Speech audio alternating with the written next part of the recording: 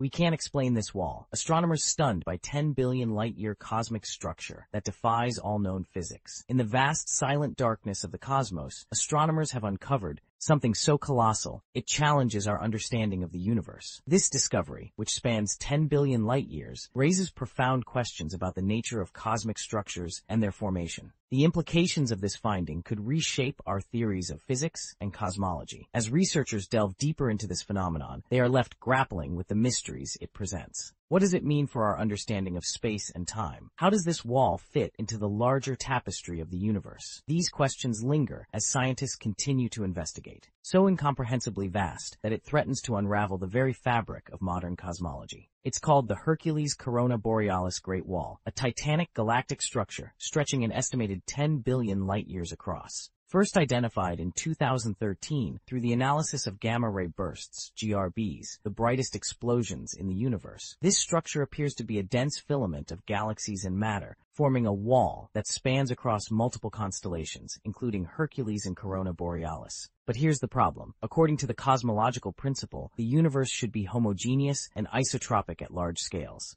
In simpler terms, no structure should exceed 1.2 billion light-years in size. The Great Wall is nearly eight times larger. Its existence defies the foundational assumptions of the Big Bang model, gravitational clustering, and cosmic inflation. If confirmed, it could mean that our understanding of how the universe evolved, how galaxies formed, and how matter clumped together is deeply flawed. Some scientists have questioned the structure's validity, suggesting it might be a statistical anomaly or an artifact of limited data. Yet, follow-up studies have continued to support its presence. The wall's discovery has sparked intense debate, with some calling it the most significant cosmological anomaly since the discovery of dark energy. It's not just big, one astronomer said. It's impossible, and yet there it is. The Hercules Corona Borealis Great Wall may not be a wall in the traditional sense. It's not a solid object, but a vast network of galaxies bound loosely by gravity. Still, its sheer scale is staggering. It dwarfs other known cosmic structures, including the Sloan Great Wall and the huge LQG, both of which already push the limits of accepted theory. Until more advanced instruments like the Theseus satellite or the James Webb Space Telescope can provide deeper insights, the Great Wall remains a cosmic riddle, one that whispers of a universe far stranger and far more ancient than we ever imagined.